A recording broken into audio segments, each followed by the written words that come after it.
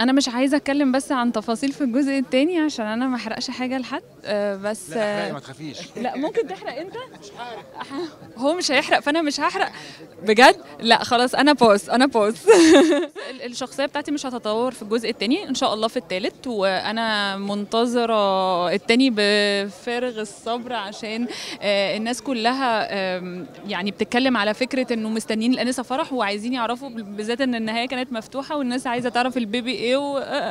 فكل الناس بتبعت لي فأنا نفسي عندي شغف إن أنا الناس تهدى لأن أنا بتبعت لي messages كل يوم هو هيحصل إيه. أنت متخيل؟ آه إن شاء الله الجزء الرابع آه في كلام إن إحنا زي دلوقتي إن شاء الله السنة الجاية. آه الصعوبات اللي واجهتني إن أنا خايفة. أنا أنا جبانة عشان أهلي خايفة عليهم جدا مش على نفسي والله.